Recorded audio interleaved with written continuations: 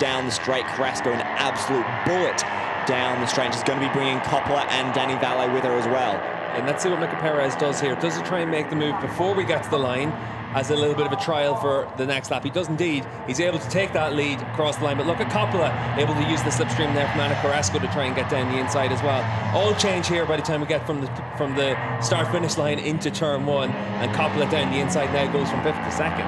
And here we go, last lap underway. Garcia's gone from leading this race to now battling for fifth place with his teammate. It is Ana Carrasco hunting her first ever victory. A big move there from Garcia, pushes Perez wide. Perez forced to stand his Honda up, giving Ana Carrasco a fair bit of breathing room, and it's Perez right back up the inside. Yeah, and that's the exact same as what we saw last time around, where the lap, the move is made there by Garcia, but then he leaves himself open through turn four as well. Come down in towards turn five. This is where the big bump is, just where Carrasco is now. Let's see what everyone's able to make it through there in one piece.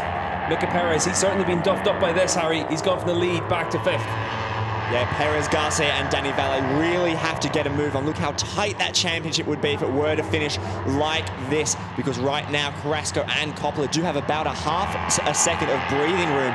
And we know that you're able to make up that half a second down the straight. But of course, as we said, the finish line so much closer to the last corner than the start line.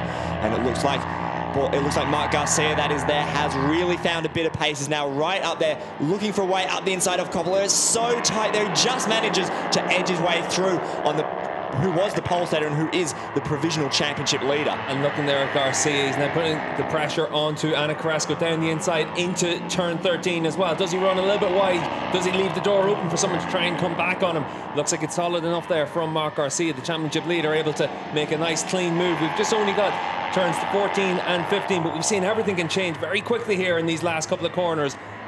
Yeah, Mika Perez will get the benefit of the most slipstream. He is at the back there, but it looks like Marc Garcia has played this one to absolute perfection. Can Carrasco get that incredible drive? Has to watch for Alfonso Coppola as well. It's going to be all about the drag to the line. Marc Garcia, will he take it? No! Ana Carrasco and Alfonso Coppola come around the outside of Garcia to steal it right at the death.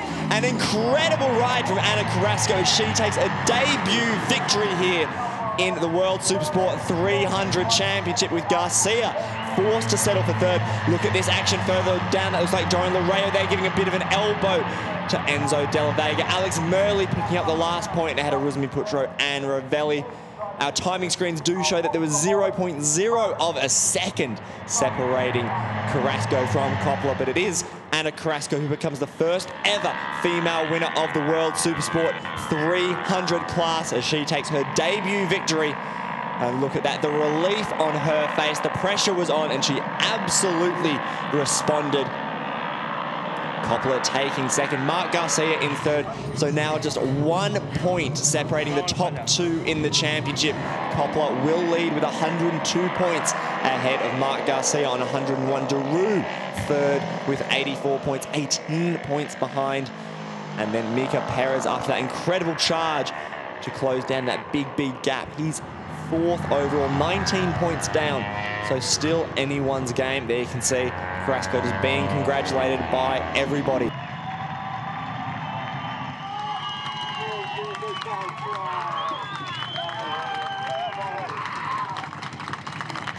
An appropriate reaction from her team there as they explode into a round of applause, hugs everywhere.